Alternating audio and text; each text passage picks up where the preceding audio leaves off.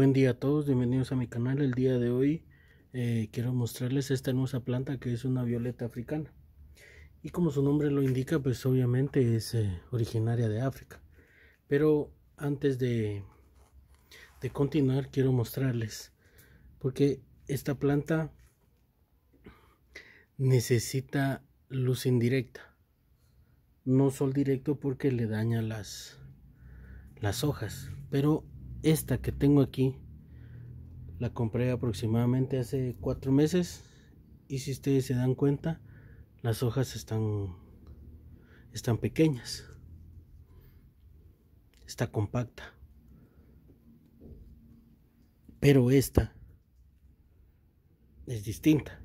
Las hojas están a la, están alargadas y eh, hay pocas. Esta la obtuve por esqueje entonces el problema que hay aquí es que yo las tengo, las dos las tengo en un lugar muy iluminado, en la sala de mi casa. Pero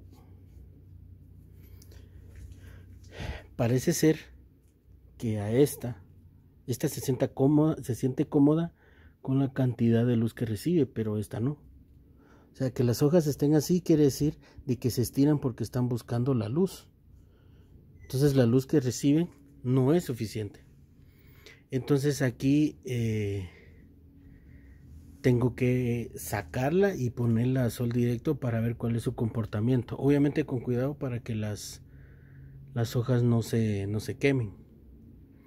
Pero eh, lo que quiero dar a entender, o sea, lo que quiero explicar es que esta tiene que estar como esta. O por lo menos las hojas tienen que ser eh, menos alargadas de como están estas. Pero como digo, es ese problema es eh, con respecto a la luz. Entonces eh, menciono esto por si alguien tiene duda de por qué ambas son, son distintas.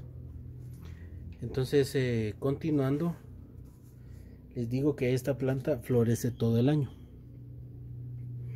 Es recomendable tenerla en maceta y en interior. Porque obviamente no, no podríamos tener al aire libre con respecto a la, digamos, en el caso de invierno de mucho riego, aunque posiblemente sí, sí esté, pero no sé, yo nunca la he, las he visto en esas circunstancias, porque de todos modos eh, podríamos tener problemas con, con hongos. Eh, de, esta, de estas especies hay muchas especies hay de muchos colores, así como esta que tiene un solo color. Esta que está aquí tiene un solo color. O esta que viene aquí, que es eh, un color doble, que es blanco con, con, corinto. Eh, estas plantas son muy hermosas, ya dándoles el, el cuidado necesario. Son las plantas preciosas. Y eh, los cuidados son bastante sencillos. En el caso de la iluminación, como les dije al principio, necesita mucha luz indirecta. Pero les vuelvo a repetir, este es el problema a donde las tengo hay mucha iluminación, pero parece ser que no es suficiente. Entonces tendré que tendré que probar a tenerla en un lugar donde reciba casi la luz directa para ver si terminan. Estas hojas se quedan así, pero estas que están, estas pequeñas que están aquí, tendrían que terminar como estas, pequeñas y la planta tiene que ser compacta no tolera las heladas. Entonces aunque posiblemente eh, no posiblemente no llega a un punto en que sí tolera cierto cierto cierto tipo de, frío pero creo que no vale la pena exponerla a ese punto. Entonces si, si las tenemos en algún lugar donde hace mucho frío pues creo que inmediatamente tendríamos que guardarlas eh, dentro de casa o en un invernadero. Eh, el poroso, el, perdón, el sustrato tiene que ser poroso. Yo utilizo tierra negra y la combino con una con una tip, eh, con otro material que se llama brosa que no es más que hojas secas y tallos y todo este tipo de materia vegetal lo que tenemos que tener en consideración es que tiene que haber un buen drenaje el riego el riego tiene que ser moderado entonces lo que tendríamos que hacer aquí es esperar a que el sustrato esté completamente seco para poder regar eh, o por lo menos que el sustrato esté húmedo. Entonces, como un poco húmedo. Entonces, ¿cómo podríamos darnos cuenta de eso? Pues podemos utilizar, eh, introducir, en el caso de esta que la maceta es pequeña, podemos utilizar un palillo de dientes y así nos vamos a dar cuenta en qué estado está el sustrato en la parte de abajo. Al momento de regar, siempre reguemos el sustrato y procuremos que sea en las orillas de la maceta nunca lo hagamos en el centro o encima de las, de las hojas porque estas hojas tienen una, una vellosidad, tienen unos filamentos blancos. Y el problema es que si ustedes dan cuenta aquí, si cae tierra se queda atrapado, así como aquí. Entonces aquí lo que podemos hacer es limpiarla con una brochita.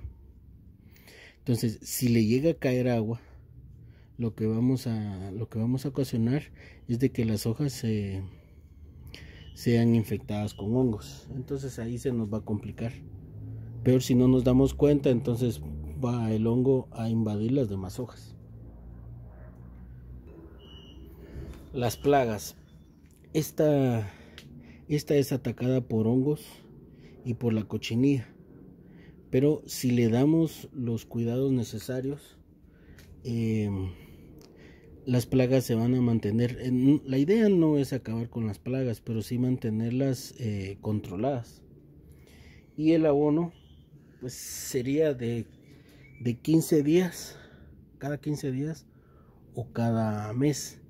Pero eh, lo recomendable aquí es que cuando veamos que empieza a tener la vara floral, como esta que está aquí, en ese momento empecemos a, agregar el abono y cuando la planta deje de dar eh, de dar flores entonces eh, dejamos de dar eh, dejamos de, agregarle el abono pero todo esto va a depender de dónde la tenemos y cuántas veces vaya a florecer la planta a mí me florece todo el año porque aquí en Guatemala pues es una primavera de todo el año. Aunque estamos en invierno pues sigue habiendo, perdón, eh, verano.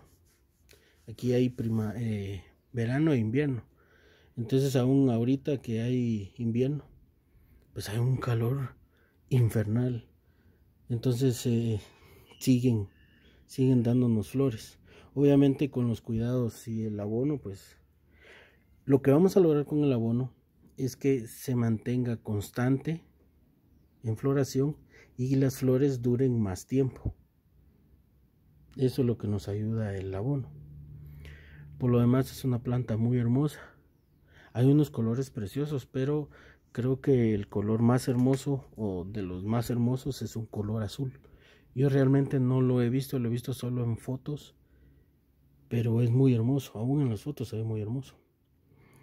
Entonces, eh, eso es todo. Que Dios Todopoderoso me los bendiga y los cuide junto a sus familias. Y si Él lo permite, les traeré nuevo contenido más adelante. Hasta luego.